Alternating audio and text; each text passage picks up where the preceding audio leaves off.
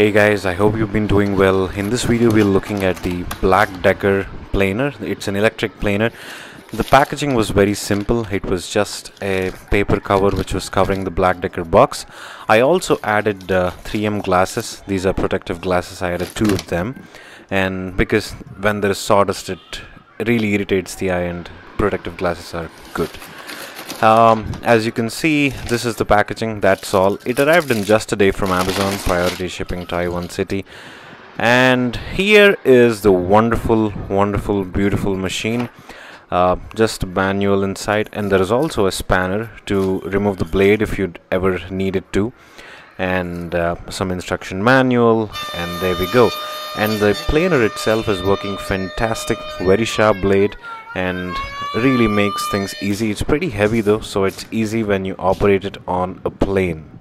And that's the adjustment.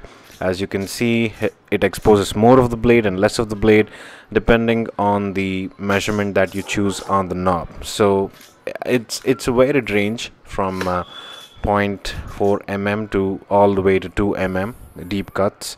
So that's it guys. I hope you found this informative and i hope i helped you make a decision. And as you can see the 3m glasses are a good fit too. So make sure you have the protective eyewear when you're making these things. So that's about it. Thank you so much for watching and have a fantastic day ahead. Peace